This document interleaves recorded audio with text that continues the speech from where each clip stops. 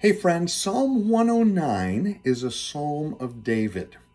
Psalms like these are sometimes called imprecatory psalms, uh, referring to the fact that the psalmist is calling down curses or judgment upon his enemies.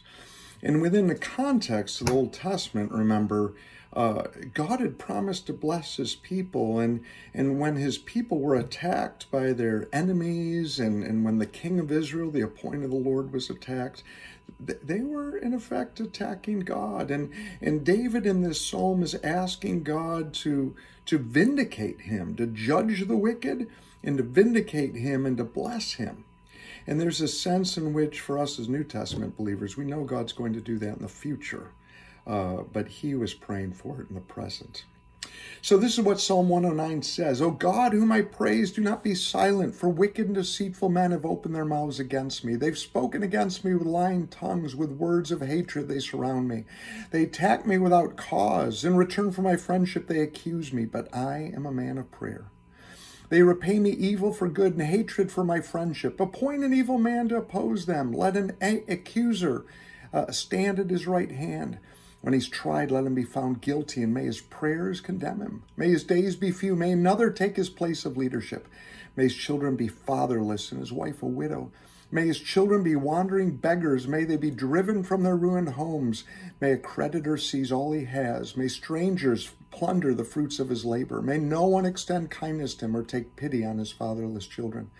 May his descendants be cut off, their names blotted out from the next generation. May the iniquity of his fathers be remembered before the Lord. May the sin of his mother never be blotted out.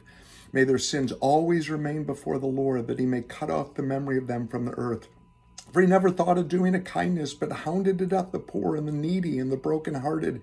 He loved to pronounce a curse may come on him he may he be found no pleasure and blessing, may be far from him. You are cursing as his garment, it entered in his body like water and his bones like oil. May be like a cloak wrapped about him, like a belt tied forever around him. May this be the Lord's payment to my accusers, to those who speak evil of me.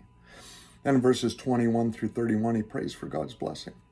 But you, O sovereign Lord, dwell, deal well with me for your name's sake, and of the goodness of out of the goodness of your love deliver me. For I'm poor and needy, my heart's wounded within me. I fade away like an evening shadow, I'm shaken off like a locust. My knees give way from fasting, my body's thin and gaunt. I'm an object of scorn to my accusers. When they see me, they shake their heads. Help me, O Lord my God. Save me in accordance with your love. Let them know that it is your hand, that you, O Lord, have done it. They may curse, but you will bless. When they attack, they'll be put to shame, but your servant will rejoice. My accusers will be clothed in disgrace and wrapped in shame as in a cloak. With my mouth I will greatly extol the Lord, and the great throng I will praise him. For he stands at the right hand of the needy one to save his life from those who condemn him. So, listen to Psalm 109. Consider it. God will judge the wicked, and he will vindicate his own. Uh, be encouraged.